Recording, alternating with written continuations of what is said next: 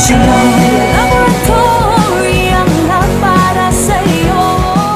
Nangangailangan ka ba ng health card o panibagong business permit? Ikaw man ay food handler o non-food handler, maaari ka naming matulungan para sa iyong medical needs. Ang Shalom Laboratory ay handang gawin ang City Health Office requirements sa pinakamurang halaga, mabilis sa serbisyo at mataas na kalidad. We offer food handler packages, non-food handler packages, and renewal requirements. Price starts at 400 pesos only. Visit us at Maptan Building, Palyokan Kanluran, Batangas City, malapit sa SM City, Batangas, o sa Zenaida Arcade, MH Del Pilar Street, Barangay 2, malapit sa simbahan ng Basilica. Tumawag o mag-message sa